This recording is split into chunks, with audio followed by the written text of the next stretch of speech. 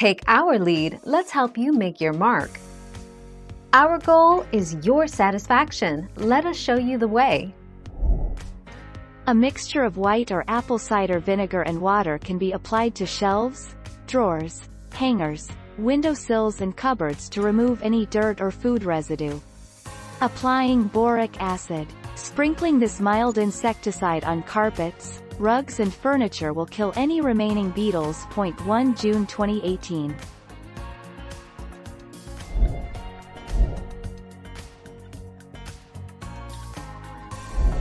Let's help you make your mark. It may seem simple, but vacuuming your home daily will greatly impact your carpet beetle infestation as the vacuum can suck up carpet beetles and their larvae. Don't forget to vacuum dark areas, like closets, and fabric that can't go in a washing machine, such as curtains, rugs, and upholstered furniture.